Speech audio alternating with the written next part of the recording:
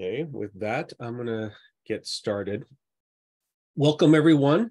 Uh, it's my pleasure to introduce today's keynote speaker, uh, Curt Newton. Uh, Curt leads MIT's OpenCourseWare project in supporting millions of learners and educators each year with materials from over two and a half thousand MIT courses. He joined OpenCourseware in 2004, shortly after its launch, captivated by the promise of open education and worked as the publication manager and then the OpenCourseware site curator prior to becoming its director in 2018. Before joining OpenCourseware, Curt applied his electrical engineering degrees from Iowa State and Stanford uh, uh, uh, as the optical and data uh, network systems engineer and product manager. Uh, Curt is also a community leader in climate change, serving as MIT's climate education working group, facilitating workshops uh, with the En-ROADS Climate Simulator from nonprofit Climate Interactive and MIT Sloan Sustainability Initiative. He helped launch the and collaboratively lead the Boston Green New Deal Coalition Civic Network. The title of his talk is Interim Keynote, 21 Years of Scaling OER. Thank you, uh, and hand it off to Curt. Thanks so much, Delmar. And uh, it's really an honor to uh, to get to be with you, spend this spend this hour or so. You know, I think of uh, what's uh, what's happening in California universities as uh, you know, you know, bellwether, part of the leading edge of um, of the development of OER and especially its impact with students. Um, and so I'm going to be speaking today, you know, from my perspective at OpenCourseware, recognizing you know that we have a you know our own kind of relationship with the global learning community, and hopefully you'll you'll you'll take some things from from my talk that are uh, relevant you know to your world, and also look forward to a conversation uh, uh, after I get done talking. Um, I'd love to hear your perspective on some of the some of the questions and ideas that I that I hope to be uh, raising. So let me just start by saying here, you know, we're now enter, entering our third decade and reflecting back on the aspirations that people had when OpenCourseware was first conceived and launched, you know, in 2001 on into 2002, I can say without a doubt that it has exceeded everyone's wildest expectations. You know, there was a sense that, yeah, this is a this is a big thing, you know, it's a kind of an audacious experiment, but an experiment nonetheless and what it has turned into, you know, not only at MIT, but in particular, the ways that, you know, people from so many different communities and so many different perspectives around the world have taken this sort of basic idea that knowledge should be free and students in particular should have, you know, that access to, to knowledge in a freer way um, has just gone in some fascinating and really exciting ways. And so, you know, it's with, you know, both, you know, great pride and also great humility because of the ways that people have come together to do this work together. I uh, know that uh, that OER has become you know this great thing that it is.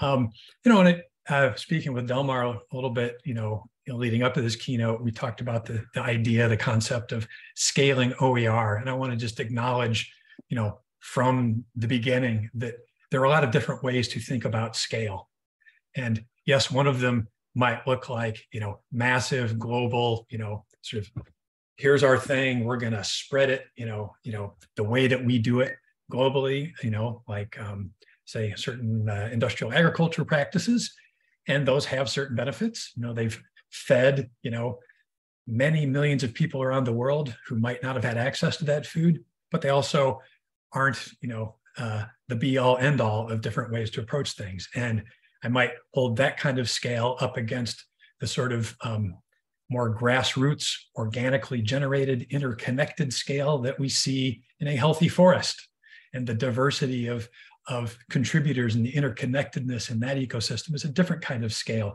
that's also incredibly rich. Um, so I have a personal, you know, adoration for the the second one, while you know also real kind of gratitude for the ability to kind of grow at, at the first one and trying to hold these things in balance is, you know, one of the things I've been thinking about in, in putting this talk together. And, you know, with regard to scaling OER in particular, um, I'll bring three perspectives that I'll be weaving in. You know, who are we scaling up for, in particular learners? What is it that we are scaling up. And in particular, I'll be thinking about the, the ways that content has grown and expanded in all of its myriad forms.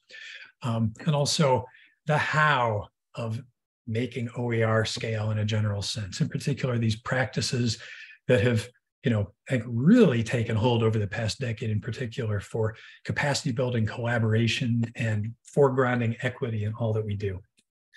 So uh, I will begin with kind of a reflection from my, my seat at OpenCourseWare on what it's meant to scale OER to us. Um, we estimate that we have reached globally over half a billion learners and educators around the world with these openly shared educational resources. MIT OpenCourseWare, you know, at its at its root is built upon opening the full MIT curriculum. So it's taking materials that were created by faculty in general in the course of teaching their courses. As Delmar said in the intro, we've got over 2,500 courses reflected on the OCW site, spanning the entire curriculum, all MIT departments from the most basic introductory undergrad material up through the most advanced graduate levels, things that, you know, we think only a few handfuls of people in the world around the world might actually get what's going on, but we're sharing that right along with the, the intro undergrad stuff. Faculty participation in this program is voluntary, but we're glad to be able to have provided enough support and encouragement to make it really, really grow to something substantial. And we estimate about 60% of our instructional uh, uh, faculty and lecturers have participated in some way that rides on the, the great contributions of the OCW team, which I'm thrilled to support, um, that makes a lot of this happen. You know, that we need to make it as easy as possible for MIT faculty and the community to share these materials, and it's through through the work of my, uh, my colleagues on the team. OCW is also the stuff, the teaching materials, what you'll find on our website and our other channels. So again, it's mostly artifacts from classroom teaching. In general, we're not asking faculty to do anything more than just teach the class as they would do so, and then give us permission to run with scrubbing the rights and maybe a little bit of restructuring and formatting for accessibility and so forth to share it with the world. Beyond faculty materials, we've also been sharing student contributions from day one. You know, we didn't call it, didn't conceive of it as open pedagogy, but especially from a from a you know a school where the student hands-on experience, especially as you get towards the later end of your degrees, is so important. That's been a, a very important part of what we share. You know, like student work on their assignments, their projects, and so forth, is a key part of uh, uh, of what we've got in OpenCourseWare. Increasingly, it's not just the kind of print materials, but video and other media has become increasingly important. When we launched, all the video was on real media. This was many years before YouTube existed. Uh, things are much different now, but that uh, media uh, content has been really, really important. Lastly, um, and this is for about the last eight years or so, not just the what is taught at MIT we're sharing, but also some of the how and why, the perspective that faculty have on their pedagogical decisions and their inspirations.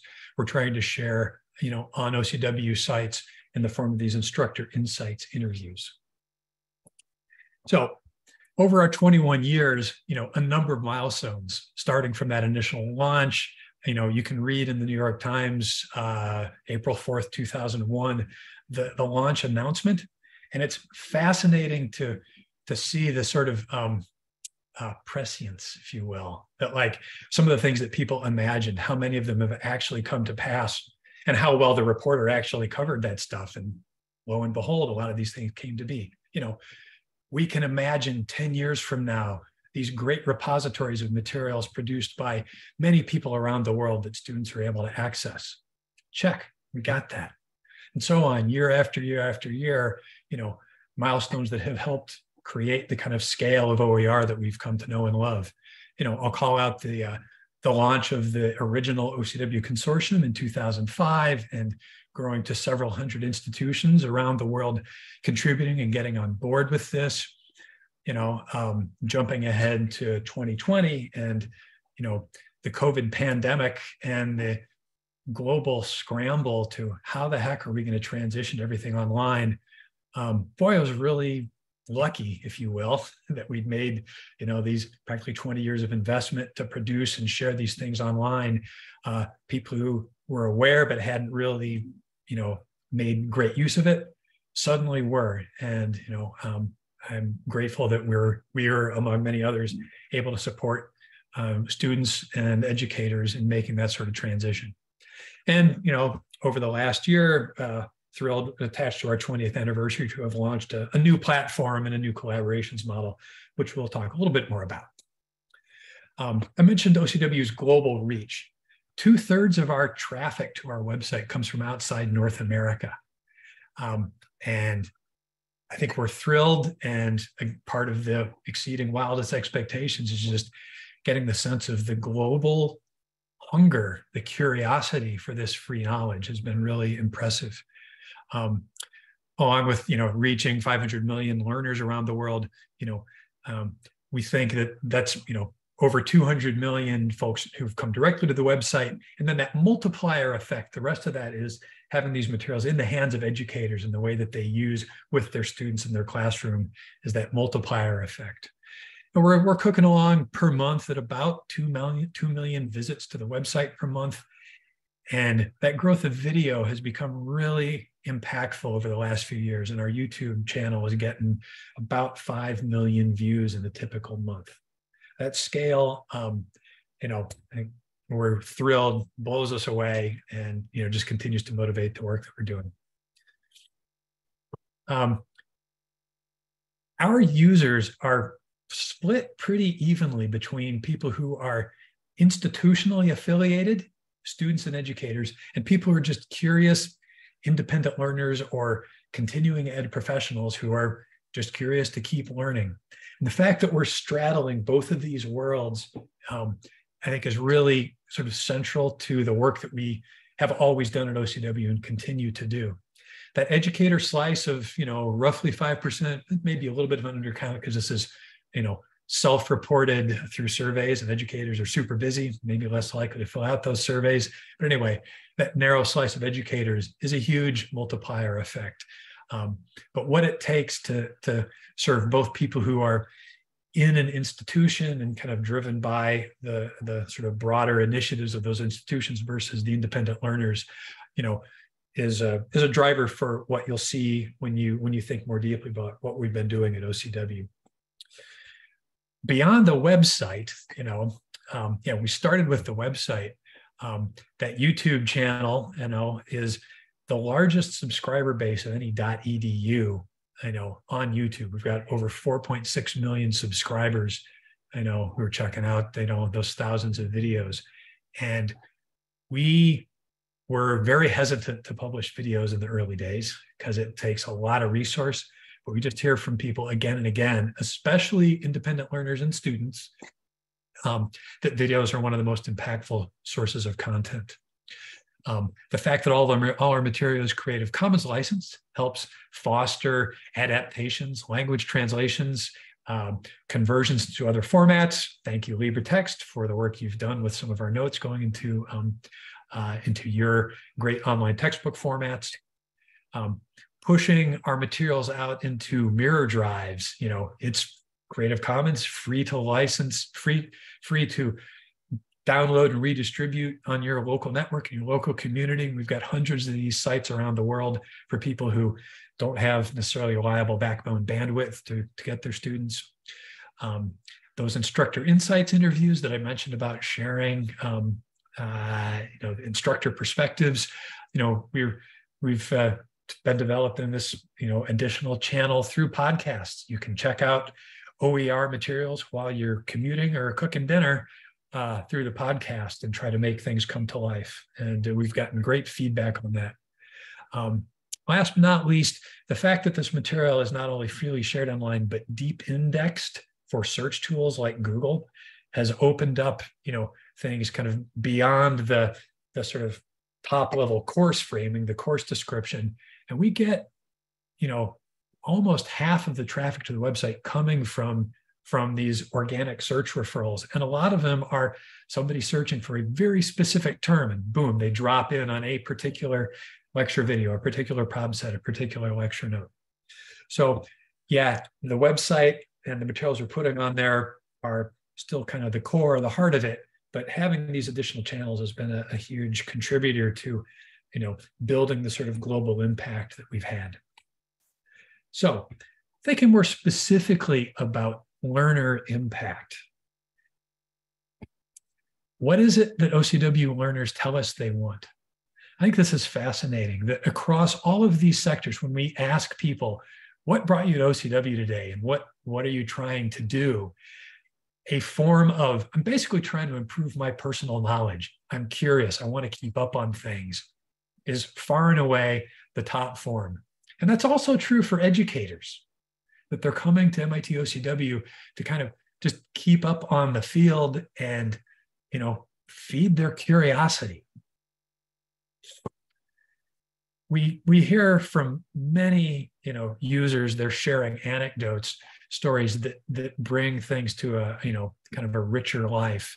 You know we're hearing from for instance people who are coming from a disrupted uh, living situation such as uh, this uh, student tuba from pakistan who wrote us a number of years ago saying basically due to the armed conflict in her country she couldn't reliably get to class. She was studying kind of in parallel on the ocw while she was trying to take classes there and able to keep things moving because she was finding enough you know openly shared on ocw to keep up up up to speed you know on the other hand we've got a you know a very motivated independent learner kind of a professional transition person trent parker who decided he wasn't really into chem- chemical engineering wanted to get into software and in the space of six months starting with OCW and then grabbing some other things that he got from MOOCs and uh, boot camp uh, kind of hackathon experiences. Learned enough skills using open education materials to get a job at Google. Not everybody's going to move as quick as Trent, but it just shows what can be possible with the, the sort of broad access to these open education materials. You know, when I think more fundamentally, you know, to uh, to what people are looking for and what we're offering you know these three points around access to knowledge are foundational foundational that we want people to have access open access to knowledge regardless of their circumstance. We want it to be there with resilience through the kind of disruptions that people are facing. Sometimes they're very personal disruptions. Sometimes they are bigger broader more societal. But having stuff freely available online is a really key tool. And definitely not least, and I think particularly pertinent, you know, to the work that, for instance, you're doing in California and in so many schools, having this material be free or minimal cost is truly life changing for people. You know, it's we can't take it for granted how important that is, you know, for people having access to the knowledge that they need. That access is necessary, but it's not sufficient. And so we're continuing to think at OCW about what other things need to be layered on beyond just basically giving access. And so thinking about like what else does it take for people to feel empowered with that knowledge? You know, the fact that the material is is available to them in a self-paced way means that regardless of how complicated your life is, you know, it works for you and you're in sufficient control so that you can make use of it in a way that works for you in your life, as much or as little as you need. And especially in these last few years, thinking very intentionally about what it takes to make, say, the starting materials that you might have used in a particular setting more inclusive, more culturally relevant, relevant the ways that we work together to adapt these materials and understand from each other what it takes has become really, really key to um, expanding that learner impact at MIT, OpenCourseware, we're thinking, for instance, about, you know, how do we share the ways that gender equity is woven into the curriculum? For instance, a course uh, taught on the history of women in science and engineering is awesome in its own right, and doubly so because one of the assignments is, you know, brings in some great open pedagogy practices, uh, a Wikipedia assignment that asks students to go out Wikipedia and find examples of places where, where something is underrepresented or needs some attention, write that article and put it out there. And that, you know, we're always on the hunt at MIT for ways to share things that are happening within our curriculum and hopefully are inspiring to others. You know, ways to um, ways to boost equity through uh, through an OER lens. We're also um, in some ways maybe returning back to um, efforts to um, start starting from the fact that you know this is basically MIT material that we're dealing with. What other sorts of inspirations, pre-college inspirations, supports, and scaffolding might we have? Um, a bunch of years ago, we launched a program called Highlights for High School, um, which was largely framed about around helping people um, study for the AP exams by extracting things from introductory OCW materials. Um, that became such a kind of shifting target uh, that we weren't able to kind of keep up with the investment needed to keep it up to date so that that content was retired but the need is still there for people who are heading college and especially heading college and don't necessarily have all of the say most privileged preparation that we can provide for them so we're um, we're trying to identify and share um, resources that can be useful in this kind of pre-college inspiration and scaffolding. So, you know, courses that, for instance, uh, girls who build cameras, you know, these very hands-on experiences where we can share materials that educators around the world might be able to use in their own settings. Um, a, a, program called MITES, which um, provides kind of semester-long and summer-long um, uh, in-person and virtual experiences. Uh, you know, it's STEM focused, but it's also for people who, you know, you know could use a leg up and getting really ready for college those materials are both kind of stem rigorous but also have really interesting layers running through them uh, to make them more inclusive for folks uh, and this last item getting up to speed in biology this is like um, you know for people who are going to take our freshman biology class at mit um, just kind of helping people scaffold up you know, dependent regardless of their preparation. We think those kind of materials, you know, are really useful. We're finding them really useful, you know, to um, to make the OER that we started with publishing, our introductory biology classes, more inclusive, more readily accessible for people. And uh, if you're able to check some of those out, we hope you might find them also that way. Um, closing, you know, beyond that, just improving personal knowledge what else do OCW users want? This starts to segment a little bit by the type of user they are. Educators, that multiplier effect is, is really key, you know, and they specifically are telling us in, you know, substantial numbers that, you know, you are looking for OER that you can incorporate into a course directly and also from which to derive other inspirations and learn new teaching methods. Um, students are primarily telling us that they're looking to OCW, you know, to complement their current course of studies with supplemental materials, looking for alternative explanations, additional problems for study, you know, but we do have this interesting kind of direct relationship with students. And independent learners, you know, most of them, if beyond just general curiosity, they've got something in mind. They're preparing for some future work or future studies. They're also telling us that boy, what they'd really like is to maybe be able to get a credential for this thing and have some interaction with students. And uh, it was starting to drive us nuts around 2010, 11, 12, trying to support the uh, the growing need that students had there. Thank God MOOCs were created and you know built purpose built for these full course experiences and credential granting things it's uh, it's allowed us to sort of return our focus more uh, more directly on the sort of course materials uh, but we have this kind of complementary relationship where maybe we're providing some prereq uh, preparations or complementary things for people who are in a more of a MOOC study mode. Uh, and thrilled that, that independent learners increasingly have those other ways to learn as well. Um, turning our attention to content a little bit, um, I'll reflect on three aspects. Um, having relevant topics for the learners of today in formats that work and meeting learners in particular where they are. And they're coming from a lot of different places. OCW's 10 most popular courses, no surprise, come from the STEM fields, and they're dominated by computer science, math, and physics. Um, you know, and these are these have been pretty much our 10 most popular courses from the first day we published them. this doesn't really shift much. You know, occasionally there's something that goes viral, but this is pretty much it. I want to learn how to program. I'm looking for some help or a leg up on some like first year math and physics stuff. And then we're off.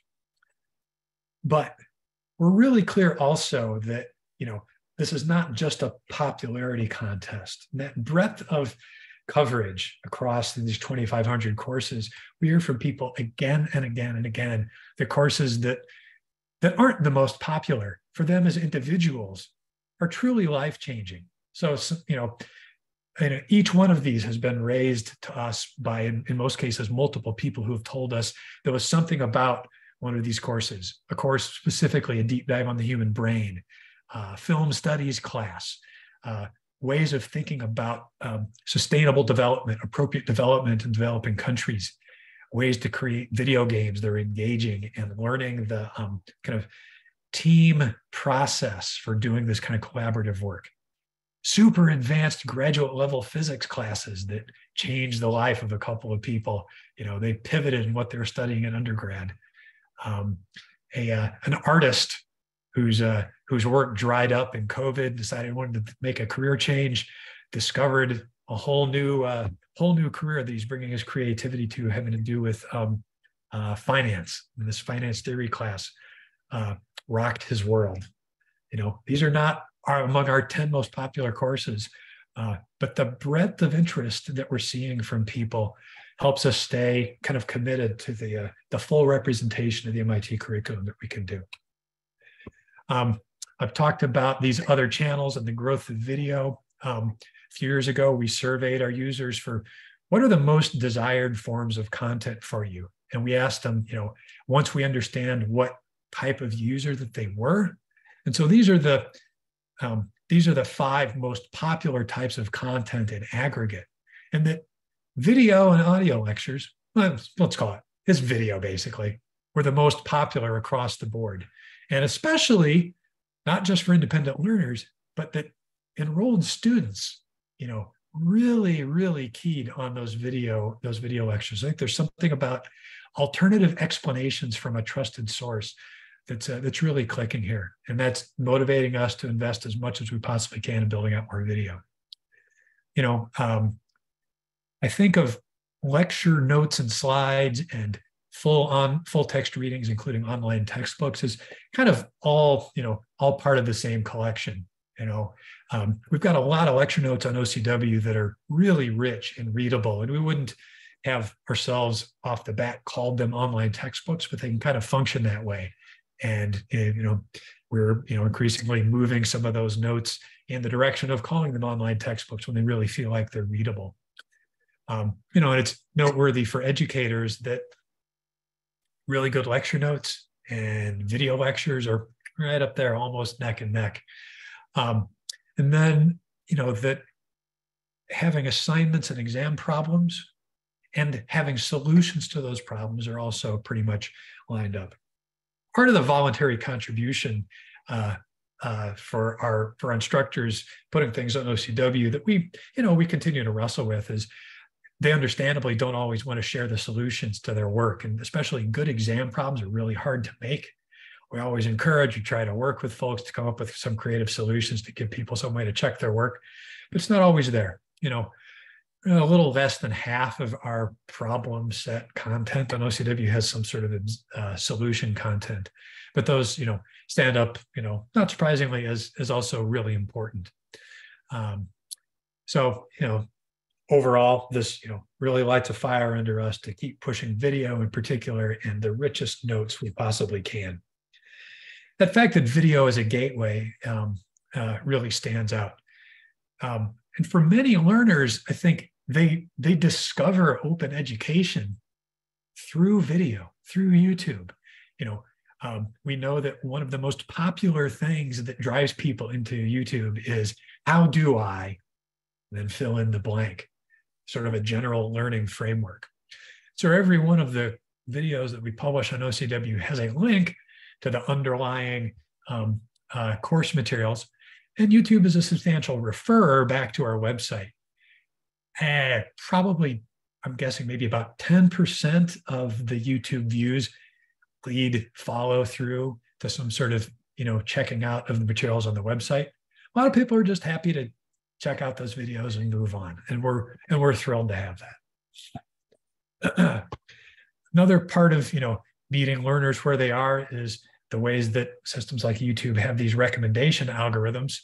There's a one hour um, seminar that uh, the late Patrick Winston, a, a, computer science artificial intelligence professor at MIT, you know, gave in January for something like 40 years. And we were thrilled to get one of the last times he gave that talk, shared that on a video. And for some reason, this thing has just caught hold, gone viral in the YouTube recommendation algorithm in the space of about three years, grabbed about 15 million views. And it's an hour long video. There's this thing, this belief that, ah, nobody watches long videos on OCW. Um, but, you know, like half of the views get halfway through this video. You know, it's a, you know, it's it's the exclusion to the rule that only short videos work that people are really checking out uh, more intensive content on youtube beyond videos number two on that most important formats yeah you know online textbooks are really key and it feels to us and we you know we recognize that more broadly in the open education ecosystem we are in the era of open textbooks and there's something really just essential to the, the classroom and learner educator experience that textbooks are, are performing. And we're glad that, you know, really high quality published lecture notes can serve in this form. You know, um, depending on how you slice it, we've got, you know, 40, 50, maybe 100, you know, um, sets of notes on OCW that kind of for, form like this, serve like this. And uh, we'll turn a little bit more back to this, uh, talk about how uh, thrilled we are that LibreText has pulled some of these as well. Um, oh, it's right here. yeah.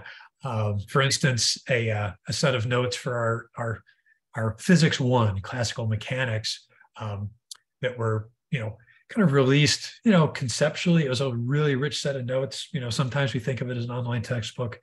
And, uh, you know, Delmar and his team, you know, identified these and converted them, you know, not only into a really nice um, sort of a modularized HTML format that's really easy to browse and work through, but also has these great export formats. For instance, uh, I believe there's an export into Canvas and the ability to print a nice, uh, you know, paper format out of this. And so just serves to expand the reach and hopefully, you know, through these sort of adaptations enabled by the Creative Commons license, um, you know, get these materials in the hands of even more people so with with great appreciation for that sort of adaptation. Um, part of our new platform, which I said uh, you know released last year, is making it mobile responsive. Um, this uh, was a few years in making. We would have liked to have it sooner, but we've I know we're gradually growing the fact that people are coming straight to OCW on their phones. About uh, little over a third of our traffic at this point is is coming from people on phones. Um, my apologies to them if they're trying to read through a set of very mathy lecture notes on their phone. Bless them. Uh, send it to your desktop and you'll have an easier time of it, but we're making the best of it we can. But that, that mobile use is growing. And you know, part of the broader access to equity um, momentum that we're trying to build is recognizing that globally, especially, there's a lot of people for whom their mobile device is their only reliable device. And so getting the materials to work as well as we can make it on mobile is a, is a key part of meeting learners wherever we are, wherever they are. um, you know, I mentioned that uh, that Google uh, search deep linking is a key part of meeting people. You know, here's an example of of a search string that I know somebody had put in that led them to to our um, to a particular lecture note. And so, um, I, while the uh, you know a lot of other forms of online learning like MOOCs don't necessarily allow this kind of deep linking. If we can put things like our online textbooks and our OER up and search indexable in this deep form, it's really going to help. Um, you know, beyond search, um, thinking about ways to um, to get the materials out again on these other channels for social and referral. Uh, uh, you know, um, uh, Reddit is in there and some of the other sort of repositories providing these referrals. Um, also really important traffic sources and things that we put attention on. Um, but it's, you know, it's hard to beat just, again, meeting people where they are. They're, they're searching for a thing they want to learn about. And uh, it's, it's just meeting people's curiosity. On the practices front, um, want to reflect on capacity building, the interplay with collaboration, especially in the form of equity, and a little reflection on pruning and composting. Um, in our experience, that capacity building really starts with faculty, with the teaching staff, and, and what it takes to support them. You know, I mentioned uh, OCW at MIT, faculty participation is voluntary. And uh, we would not be where we are if we weren't able to provide the kind of resources that faculty just say, here's my stuff, go with it. Let me know if you have any questions. Um, I know there are other models, you know, in other institutions. Um, and it's, you know, I think it's really important to be able to develop that sort of support services model in ways that that work for y'all. You know, um, we're real been really intrigued to watch the growth of, you know, kind of targeted, say, online textbook grant funded models to develop in a collaborative way in particular um, OER uh, to, to pre- meet a particular need. And so um, those support services, especially to the extent they can come with a little financial support, maybe even a recognition that, you know, um, I might need a little, little uh, slack time in my workload um, the amount of classes that I'm teaching, or to provide, you know, instructional design and librarian support uh, is really key. Um, also, I think part of building that capacity with faculty is the ability to to engage in. Well, sometimes it's a it's a long term conversation about what are the benefits to this open sharing, and those benefits may take different forms depending on what the faculty's interests are. I've had a number of cases in my time at OCW where, you know, five years or more, you know, from the starting conversation to somebody saying, you know, I remember talking about this. You know what? I'm ready. Um, it happens. And so making those investments in like planting the seeds and why, why might you want to share? You know, uh, fundamentally, you know, it's hard to think of a better way to build the impact of the work that they're most passionately connected to, build their reputation, help them make connection with peers and colleagues around the world. You know, some examples of things, you know, the kinds of things that I've had, I and, and our team have had to uh, to play out with uh, with MIT faculty. You know, when we're voluntarily approaching them, the timing's not right, too busy, but maybe later. You know, okay, that's great while we've got you, anything that you can share with us about uh, what you're what you're thinking about your materials. You know, the sense that oh, this stuff's got to be really stable before I can share it. You know, um, I need to put my best foot forward. Having some sort of plan in place and building trust that that they'll be able to update the materials in a in a nim- sufficiently nimble fashion has been really key. Um, sometimes, you know, more so in the early days, less so, you know, over time. There might be questions about what exactly it means from a rights perspective to share my stuff online. Um, the license that we ask MIT or the faculty to sign tells them that they retain, retain fundamentally the copyright to the work. They are only granting us a license, non-exclusive, but only granting us a license to share the materials in the forms that we do. And fundamentally, the material is theirs and they can do other stuff with it they can find a way to produce a textbook that's not on OCW, bless them. We're here to help them if they want. And if they even want to sell it, you know, you know, best wishes. Uh, we will support you, and you're allowed to do that as well. And that does still happen sometimes. Um, another one that's really, you know, important for many people at MIT, especially when you get into the upper level classes where it's very project focused or it's very discussion oriented, very seminary. Is like, yeah, my teaching methods don't really work online. You know, um, is too much discussion. You know, the students have too big of a hand in it, and I don't want the fact that we might be sharing the materials. You know, what they're contributing online to chill their experience in their education in any way. We get that.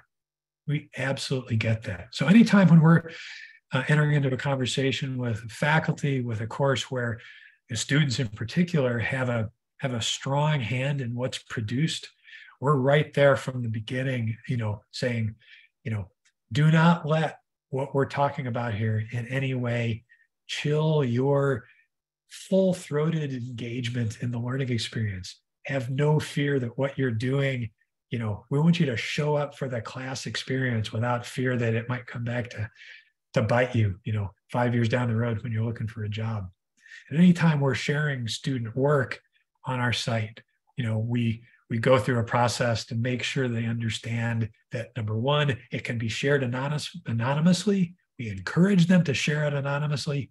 If they really want to, we're happy to put their name on it, but know that once it's put online, you can't fully scrub it. And uh, in general, you know, people are able to make that decision. A lot of what we share from students at this point is anonymous.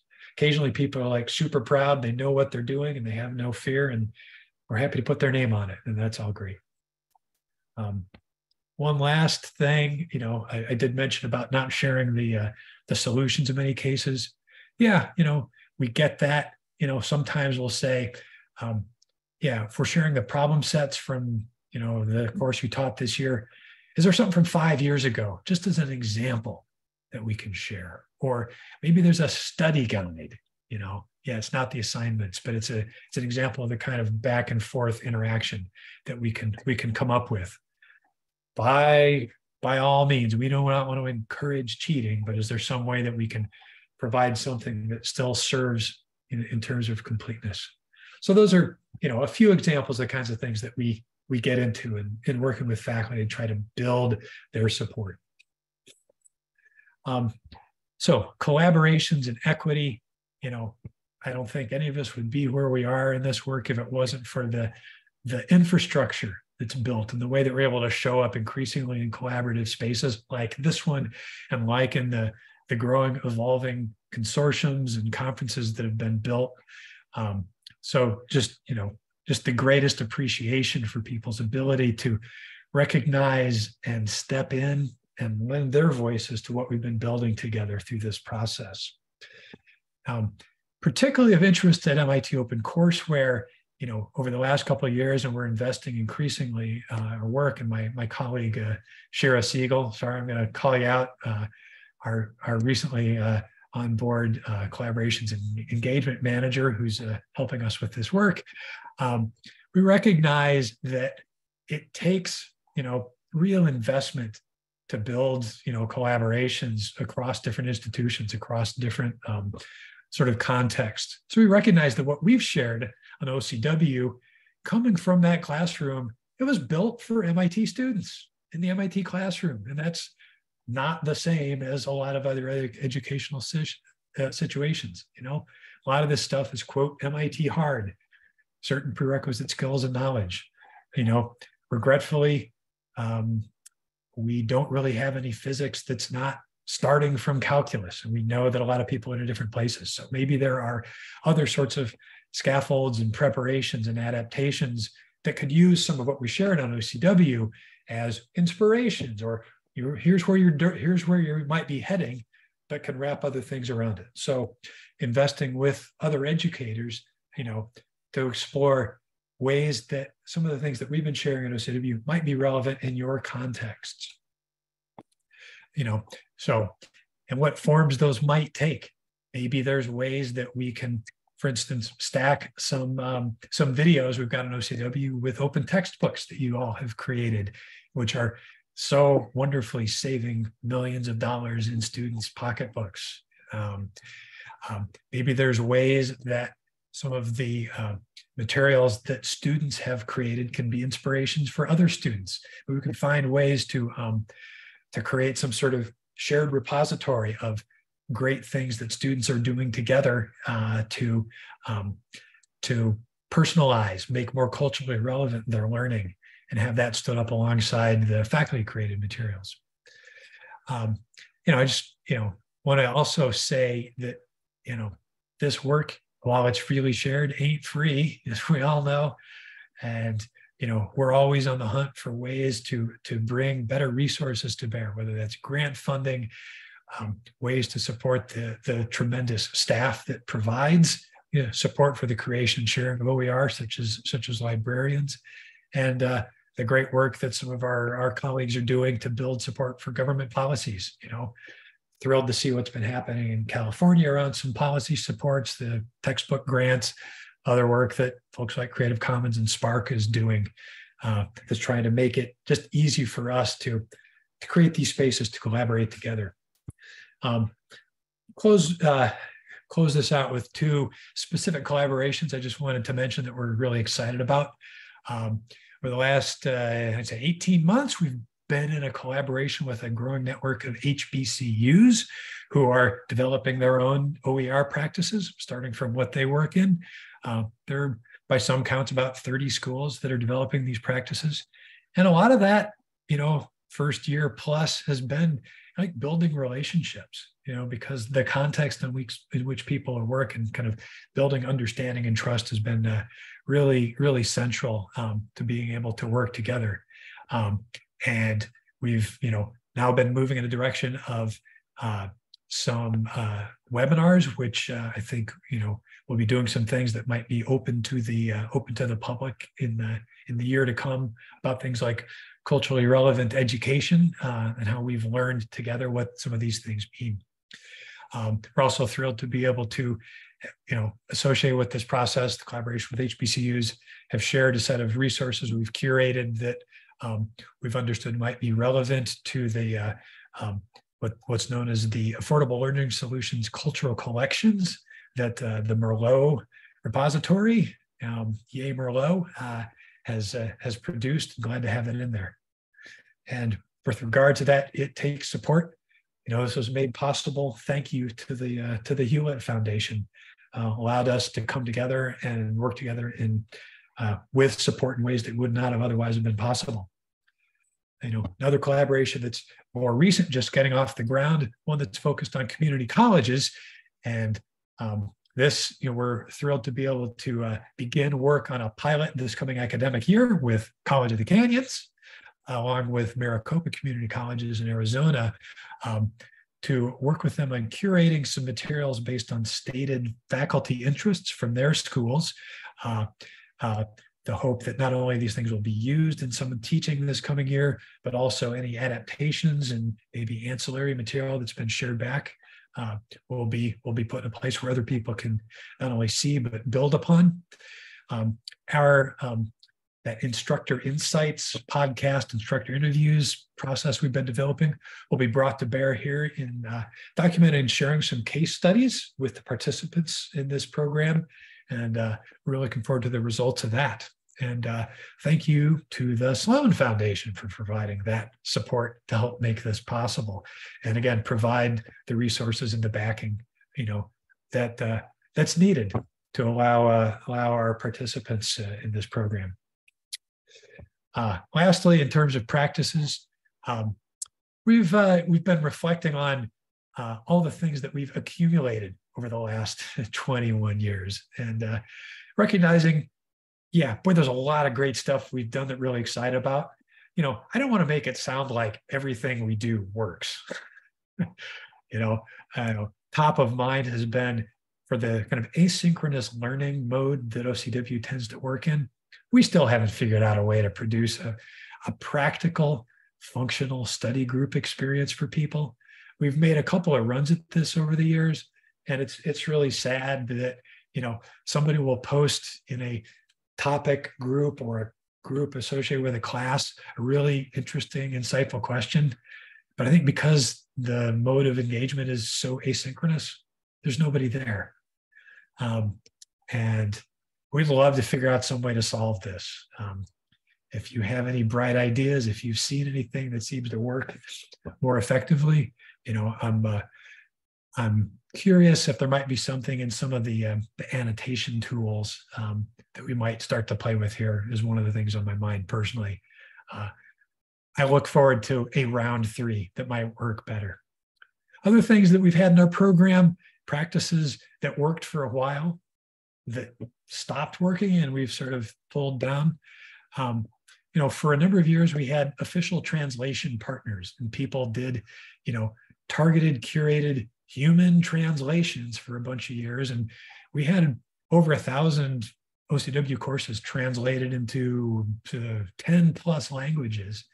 Um, took a lot of resources. And over time, each one of those programs kind of dwindled and um, fell out of date. And at this point, none of them are active. It's uh, it's sad to see, but to the rescue, we believe. And I'll close on this a little bit. Automated translations hold some promise. I mentioned highlights for High School, no longer working, not so happening. Lastly, I'll say um, over 21 years, we still have some courses that were published in those first couple of years that are still in OCW. Um, while some of the methodology may have changed, the, the fundamental content for like first year calculus, first year physics, uh, hasn't really changed that much. And so some of these things continue to be up. They might be 20 years old, but we think of them as venerable classics. On the other hand, there are some things that uh, probably aren't so relevant. We've been engaged uh, in a uh, um, uh, an intentional process with departments to identify things that maybe are no longer so up to date. And so, in that spirit of, you know, keeping things vibrant and current, you know, um, uh, you may see some things disappearing off the OCW site into our archive. Um, so this is part of uh, part of what we've come to see as an important practice for keeping our site up to date. So, what's next? Um, a couple things on my mind.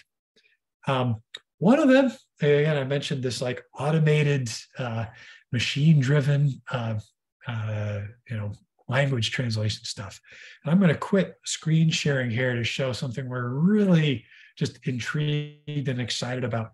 Uh, we've been able to be a participant in a pilot program from um, this comes out of like Google's experimental lab. It's called Google Aloud, and they've integrated this now into YouTube.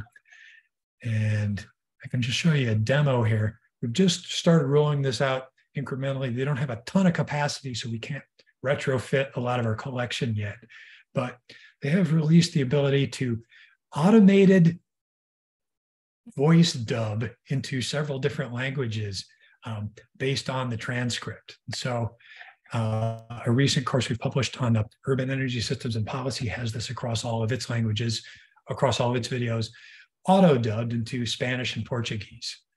And oops, I shared the wrong thing. I can't talk and pay attention very well at the same time. Here we go. So here's a quick demo. So this is tell you it's about Professor Robert Bullard, this is one of the leading scholars on environmental racism and environmental justice. And I think it's just a good story of how he gets este tema y cómo sigue escribiendo sobre estos asuntos hoy en día. There's the Spanish dubbed version. Hay un retrato de 2012 a la izquierda. Este es un pequeño extracto a la derecha. Es una lista de resumen de disputas comunitarias de uno de sus primeros escritos sobre el racismo ambiental. Y, esencialmente, enumera los movimientos de base en todo el sur, pero también en el oeste. So you, you noticed, um, for instance, there's there's uh, there's gaps in the timeline in the audio. You know, you know, one of the things that they're working on is uh, when you do a translation from one language to another. Sometimes it takes more or fewer words to get it across. Um, what we've heard is they're you know continually going to try to improve to make make it feel more natural in, in each, language. We look forward to the day when Patrick Winston's How to Speak video, which is rich in vernacular, um, can be auto translated and work in many different languages. That's when that works, we'll know we've uh, we've gotten somewhere. So, so that's one thing we're really uh, really excited about. You know, in a similar vein, we're really you know flat, uh, glad that um, LibreText, you know, again, you know, not only has converted some of our notes into online textbooks, but has started experimenting with uh, automated language translations. And uh, we're also internally taking a look at this. Um, but you know, Delmar, I've appreciated how you've been spreading the word about this. We're just really intrigued uh, in the ability of machine translations you know, to be able to solve the scaling problem, which ran aground, you know, a bunch of years ago and trying to do this at human scale, you know, and is 95% accuracy good enough? You know, 98, how do we get there? These are the sort of questions that I'm really eager to get to work collectively on. How do we determine? How do we, how do we provide the right sort of say peer review and say, yeah, this one's ready to go. Um, be a really interesting, I think, really important project to get to uh, work collectively on.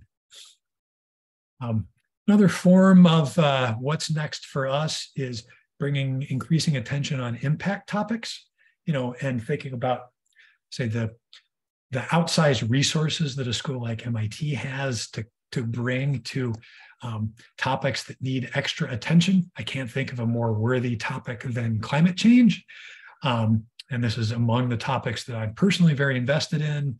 Uh, and I'm looking forward to leading a workshop session, if any of you are making it to OE Global in October, about how to build an open knowledge community of practice around climate. Um, I know there's you know other things that have been taking shape here.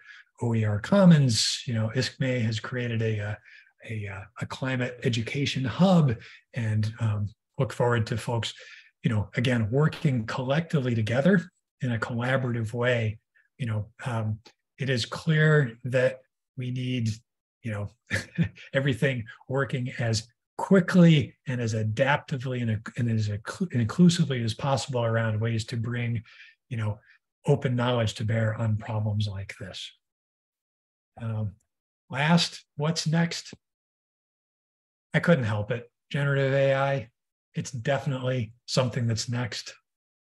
I don't know what's happening. Something will definitely be happening. I'd be curious to uh, hear what might be in your minds around generative AI. A few things which I wouldn't dare put on a slide right now, but I'll just say off the cuff.